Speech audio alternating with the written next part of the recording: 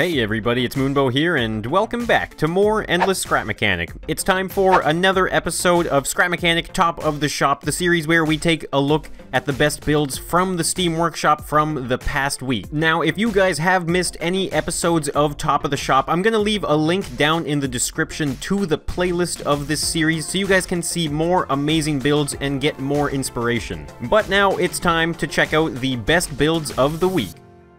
Alright, first up we've got the one-wheel bike created by Comrade Nova. Now this looks like an interesting build. Let's see. Alright, it's balancing.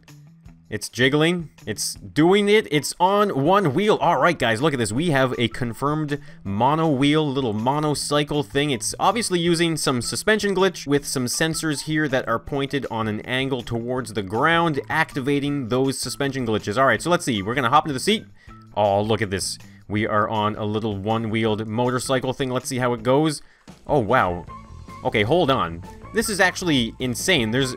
It's like the suspension glitch is permanently on right now. I feel like... Are the sensors even really doing anything? Or is there, like, more of a gyro inside of this thing? So as you can see, though, it is using suspension glitch steering because it's doing this really weird thing. And I guess how else would you do it with a single wheel? But it does seem to work pretty well. It's it's kind of unnatural to look at the way it's driving around. Like, look, we just went off of a jump. All right, here we go, guys. I'm going to take this monocycle on the trip of its lifetime. Here we go. We've got this massive mountain. Can the monocycle do it, or is it going to just be this weird flat thing? Okay, look.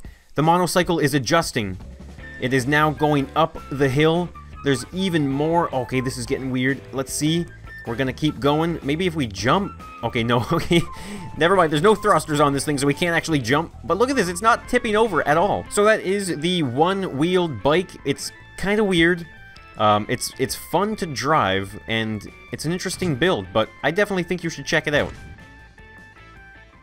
Next up, we've got the Cat R3000H. Now, this is a gigantic build. This is created by Rob. Rob has made other very large industrial machines that are really, really awesome. You should check them all out. Now, this is going to be amazing. I know it. So this is a some type of uh, what what is it? It's a it's a replica of a a Cat R3000H mining wheel loader. Now I hope where I am is gonna be big enough to spawn it. Oh yeah, perfect. This is the perfect spot to see this thing. All right, we're gonna drop it off the lift. All right, so off of the lift, it is a little laggy, but I feel like once we get inside of it and lift the bucket up off the front of it there, it won't be such an issue. Now, is this? Oh, look at this. We've got a beautiful looking staircase right here. This thing is giant. Oh wow, I love this staircase, the detail work here is absolutely amazing. Okay, now how do we get inside of this thing here? Maybe is there a is there a door I'm not seeing here? So I seriously have no idea. Wait, is this what? Okay, I've been looking around trying to figure out how to get inside of this thing. Is this Okay, hold on here. Now we've got this here made by Rob and Derniep. Okay, there we go. Credit where credit is due. And now this is all the stuff that I don't really need to mention. Alright, so I have no idea how to get inside of that driver's seat, so instead we're going to do a quick walk around to appreciate all the detail that went into this. Now just look at this bucket. Look at these surface panels, all of the textures, the nuts and the bolts and stuff like that. It looks absolutely amazing. I love these gigantic wheels as well, and just look at the size of these fenders. These are massive fenders here. And hold on here, what is this? I have found a switch, don't tell me. Is this the way in? Okay. Oh, it is! Wow, look at this. I was not expecting this. The whole front end goes forward, and there it is, the beautiful front entrance to that seat. Okay, hold on. We're going to shut that down. We're going to finish the grand tour of the exterior because there is a lot going on here. Look at the back of this. We got some massive gratings here, some ventilation for this giant machine. There it is there, the R3000H cat.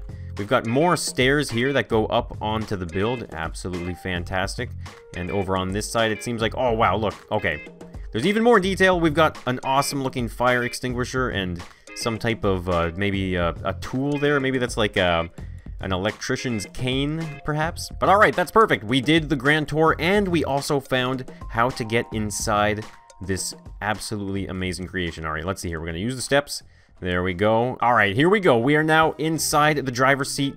We are ready to start using this thing. Okay, there's a lot of buttons and switches. Let's just see how easy it is. Okay, there we go. W is driving. Okay, W, A, S, and D is simple enough. We can steer the entire thing. Now, how do we get that bucket up off the ground? Oh, wow, look at that.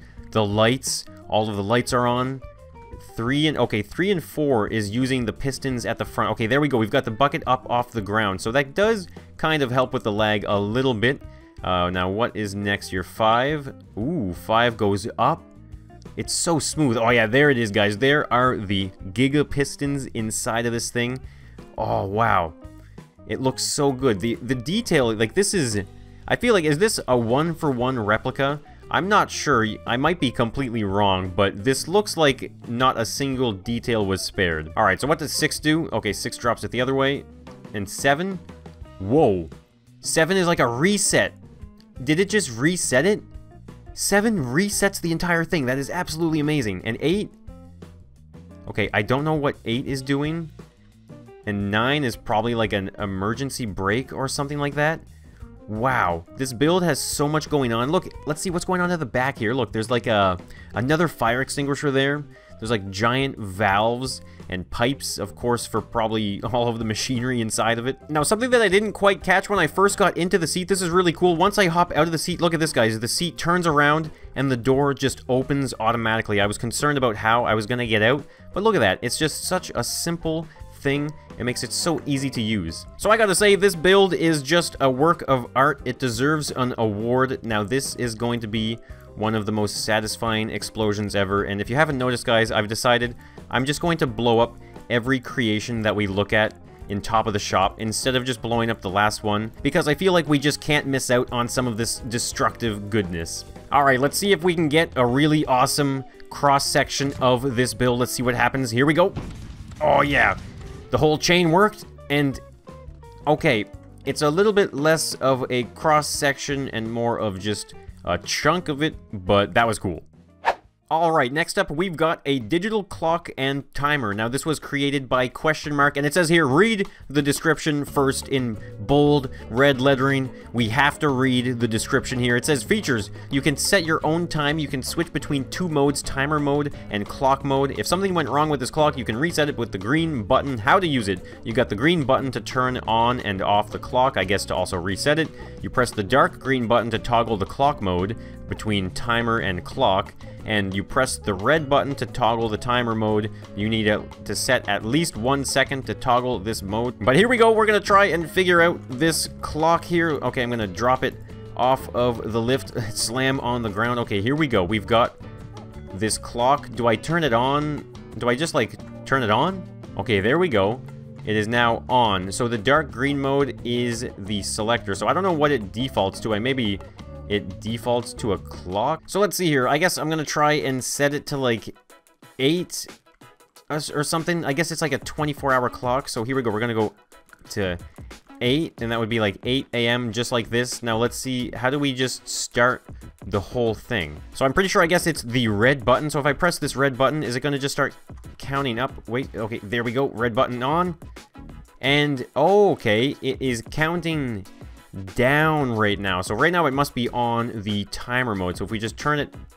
Do I just turn it off? Alright, so you have to actually press the red button to stop the timer, and then the green button, which will reset it, and then we can turn it back on just like so. Now, now we're going to try and swap it. Okay, there we go. So I guess now it is just rolling from, I guess, midnight. This would be like midnight, and it's counting up right now, and it's just a working clock in Scrap Mechanics. So you can use this for challenges if you want to time yourself with a certain amount of time for a build limit or maybe if you're doing some type of trial or racing around a track you could time your racing with that as well. This is definitely a very very useful build. So I guess there's really not much more to say about the clock itself. So I figured maybe we can just sit here and appreciate it and like look at the logic and maybe we'll just kind of wait until one of these ones change over here. I think that would take much. I guess that's about, that's one hour. Well, I guess it's actually 59 minutes. Alright, so there we go. We are now just about 50 seconds away. So, I mean, I think it was probably worth me recording the entire 59 minute. No, I'm just kidding, guys. I set the timer. Did I trick you? Maybe I tricked you, but nonetheless, This creation is absolutely amazing. It's really cool. You should definitely check it out. Okay, next up we've got another creation by question mark, but this is a little bit more exciting than an alarm clock. This is an AH-64 Apache with some really, really awesome functions. Now it does say read the description first, but guys, I am a trained pilot in Scrap Mechanic, you need not worry about me. Alright, so here it is. Now, as someone who has made quite a few helicopters in Scrap Mechanic, I absolutely love checking them out and flying them around and drawing some inspiration from other people's creations. Now, it seems here we do have some side-mounted missiles. I don't know if they're explosive or not. It does have a sensor on the end right there. We've also got a mounted turret on the bottom. Now, there are two seats inside of this helicopter. Now, I do believe the front one is for all of the combat gear, and then then the one in the back is strictly for piloting it. So I think the first thing we're going to do is just quickly open this one right here. We've got a little button door here, and I think, is that the seat there? Okay, yeah, that's the seat right there. So let's just get a little view from in here. Now look at this, guys. This looks absolutely fantastic. Love the first-person view. Now, I won't be able to fly in this view because of the fact that there's two different seats with different functions. But let's see if we can kind of just try it down here on the ground. What does one do? Okay, one isn't doing anything. Now, two, three, four, and five might be the missiles. I'm gonna try it out. too. Okay, whoa. Oh, two is... I think two is camera controlled. Yeah, look at this, guys. Two is the camera controlled turret on the bottom. That is absolutely fantastic, but we're gonna turn that off. Three might be the missile. Oh! Wow. That was really fast. So yeah, that is definitely the missile. Now, I don't see them. Oh, no, they are exploding. Look at this. They shoot really fast and straight as well. That's really awesome. But alright, we're gonna hop out of the main seat. Look at that, I love it. You can actually get out of the seat as well. That is always a nice bonus in a build.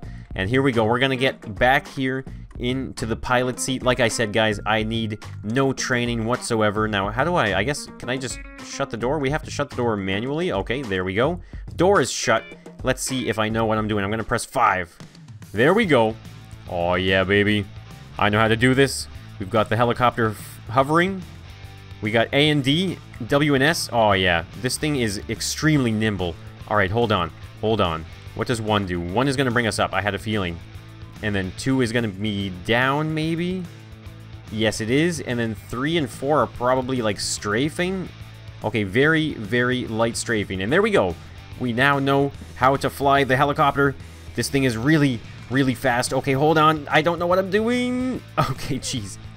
So this is definitely a very, very zippy helicopter. It's really, really fast. It'd be kind of cool if I could shoot from the seat back here. Uh, but nonetheless, if you have a friend and you want to do some awesome helicopter teamwork stuff, this is the build for you. Alright, so as per Moonbo video tradition, I have to do a really nice landing. There we go. We're going to land down in this little quarry. And it looks like we have a build from a previous episode of Top of the Shop. That one there. Looks like, yes, there it is, guys. We've got ourselves Speed Racer crashed into the side of a cliff. There we go.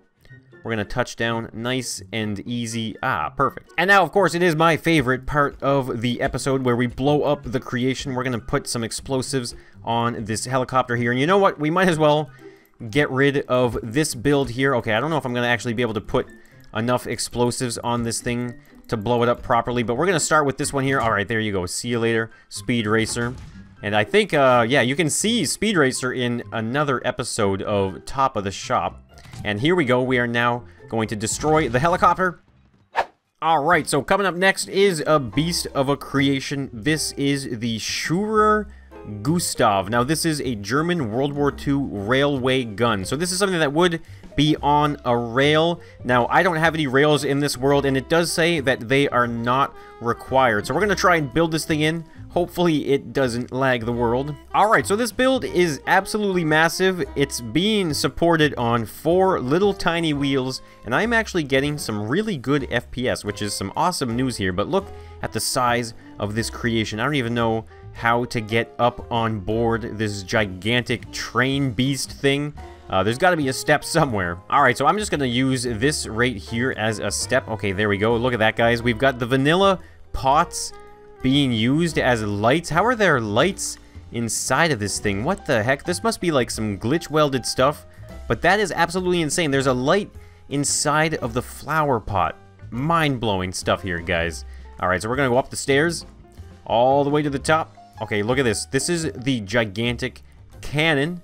Now, where is the driver's seat? This looks so crazy. This kind of reminds me of, like, Wild Wild West with all the crazy pistons and contraptions and things. Now, I have no idea. What does this do? I'm just pressing it. Oh, okay. It's going down to the bottom? Is this like maybe like an ammunition thing? Oh, that's gotta be what it is. And then you would like load it up right here. Oh yeah, look at that. We've already got one loaded in. But before we start shooting and driving this thing, let's just kind of see if there is anything down in the back there. Because I feel like there is more to this. Okay, yeah, look at this, guys. We've got an interior section here, just a little bit, I suppose. And I think that's what this would be. Like, right here would be, like, the ammunition. And they load the ammunition onto this thing. And I guess we're going to be the ammunition. There we go. Ammunition going this way. And there we go. We have reached our destination. All right, so that is really awesome. So let's see if we can't navigate our way out of here. Oh, look at that. That is some crazy steering. The whole part of the train moves. Now, like I said, guys, we don't have any tracks. We don't need them. And this thing actually goes quite fast for the size of it. I guess I was kind of expecting like a giant boat. But realistically, I suppose it would be pretty quick. Now, here we go. We are cruising up out of the quarry. Now, what are we going to shoot at? We have to kind of have some type of target here. Alright, so this is actually a great way to segue into the final build of today's episode of Top of the Shop. Now, this is an AT Missile Carrier 2 created by Mr. WTF. So, this is going to be a little bit of a battle between the giant missile train thing and the AT carrier. So let's spawn this thing in here. Let's take a quick look at it. Now this is actually all vanilla. I love pretty much every episode of Top of the Shop there is a vanilla build amongst all the other modded creations. So here we go. We've got, okay, a door that goes into it. The front of it here with some lights. So this is the firepower up here on top. Quite similar, I suppose, to the firepower inside of that thing there and a spare tire in the back. Okay, so I don't know if I'm on the right side of it here or not. Let's see. This is the side that controls these. All right, so I'm pretty sure this is the driver's seat right here. We're going to shut the door. Okay, here we go, guys. So this is it. This is going to be this little AT vehicle, and we're going to try and take out a giant train, I suppose. Now, I don't think this is the actual seat that we want to be in, uh, but you know what? We're going to give this little vehicle first hit, maybe it might be fair in this battle because that thing is way bigger. So let's see here. We're going to hop into this seat. Now, this is the one. Okay, now we're controlling it. So here we go. On the broad side of the train in three, two, one. Here we go. Oh, okay, that was the spud gun. Okay, so we are aiming right at it. I don't know what to press then. Two. There we go. There, they launched. Amazing. That was a direct hit. Okay, I am getting a little bit of lag here. Let's see, maybe if we put that on the lift. Okay, no, I'm still getting a little bit of lag. Okay, I might have done too good of a job hitting this thing. Let's see if the train can retaliate, though. All right, here we go. We're going to load ourselves up as ammunition one last time. Press that switch. All right, here we go. Can we still move? Yes, we can still move. That is not a problem. I think we're to have to back up here. Keep on backing up. Okay, the frames aren't too, too bad.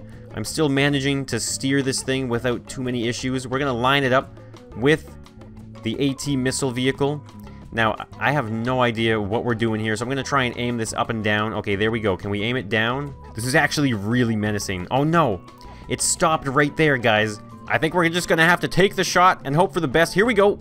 Okay, that, okay, those are the ammunition things. Three is to open it. Okay, here we go. Firing. We're gonna miss. Nothing happened. Misfire. it was a misfire. Oh, no. Well, I guess in this battle, the AT missile carrier has won this train kind of self-destructed a little bit there. I mean, I bet you we could probably still drive this thing if we really needed to.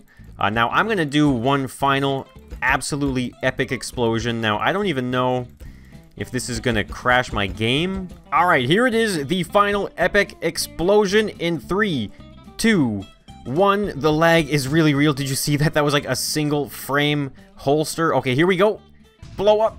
Please, computer, survive. Whoa. There's so much happening right now. Alright, so that is today's episode of Top of the Shop. Let me know down in the comments which creation was your favorite. Now guys, if you did enjoy the build or the video, let me know by hitting that like button. And if you haven't already signed up for Endless Scrap Mechanic, then make sure you subscribe to the channel, hop into orbit, make sure you turn on notifications as well so you don't miss the videos or the live streams. So, thank you so much for tuning in, and I will be seeing you in the next one. So, bye for now.